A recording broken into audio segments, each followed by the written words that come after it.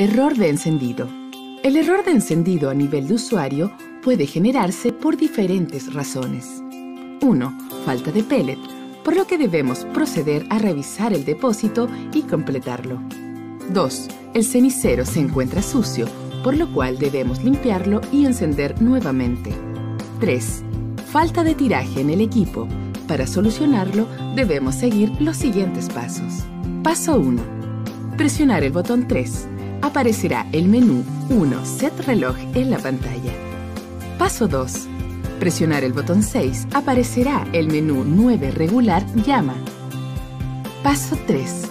Presionar el botón 3 aparecerá en la pantalla el submenú tipo Pellets. Paso 4. Presionar el botón 6 aparecerá en la pantalla tipo chimenea. Paso 5. Presionar el botón 3 aparecerá en la pantalla ASP-humo chimenea. Presionar el botón 1 o 2 repetidas veces hasta llegar al valor entre 2 y 9.